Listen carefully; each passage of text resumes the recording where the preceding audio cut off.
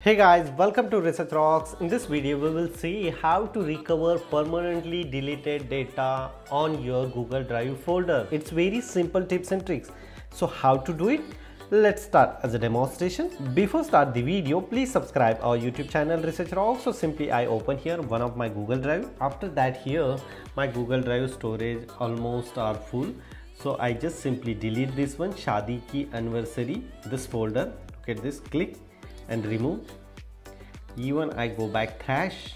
Again I delete forever and now the data is delete. I refresh here. So look at this. My space are automatically increased look at this. Now is a 10.19 gigabytes in space available. Now question come how i recover this data? It's very simple. So simply open google type here google drive file recover request. And here several link is coming here. You just simply click here delete and restore file on google drive. Here several different options are available. Computer android and iphone. You can restore store very easily. Some step-by-step -step process is going on.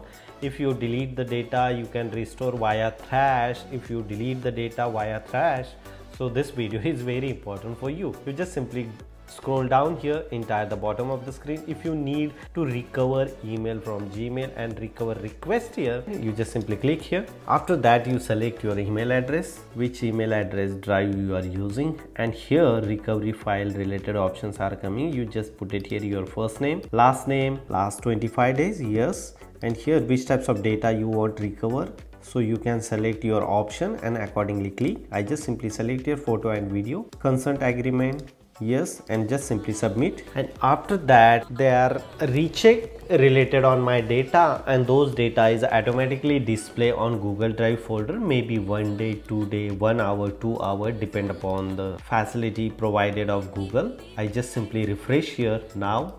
So look at this here. The folder and the data is available here. It's very simple process to restore your data on Google Drive folder. If you really like this video, so please hit the bell icon, share this video and subscribe our YouTube channel Research Rock. Till then, Jai Hind, Vande Mataram.